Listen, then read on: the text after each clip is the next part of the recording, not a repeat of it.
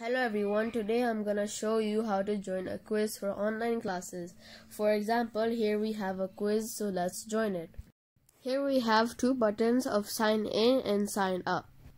If you already have a quiz account, then you should sign in with that. And if you don't, you should sign up with the Google account.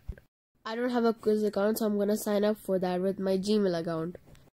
After signing up, you have to enter the code which teacher has given you. Now you will be redirected to this page to enter your Google account. Here you will enter your Gmail account.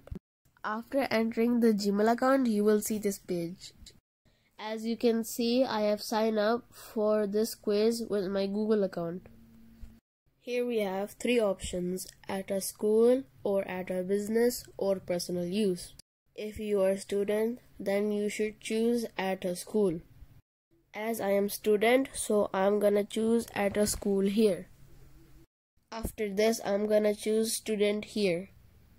Now it will ask you to enter your date of birth.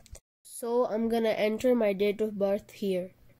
After entering the date of birth then I'm gonna click update as you can see, this is asking what grade you are in. I'm in grade 5, so I'm going to choose 5th grade here. After choosing the grade, it will take a while and quiz will open. Now all you need to do is to enter the quiz code which teacher has given you. That's all. You are ready to do the online quiz. I hope this video will be helpful for you. Thank you so much for watching. Bye.